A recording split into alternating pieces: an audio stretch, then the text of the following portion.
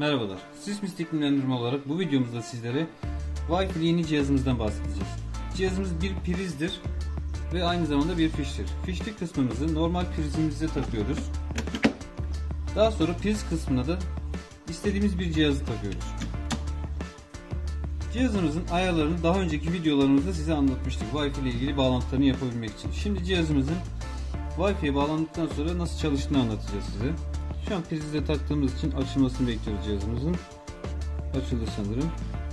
Cihazımızın uygulamasındaki ayarlarımızı diğer videomuzdan öğrendikten sonra tek yapmamız gereken cihazımızın tuşuna basmak ve cihazın anında açılmasını sağlamak. Tekrar basarak kapatabilir ve tekrar basarak açabiliriz.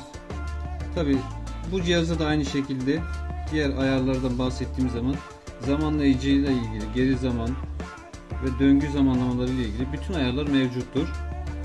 Bizi izlediğiniz için teşekkür ederiz. İyi çalışmalar.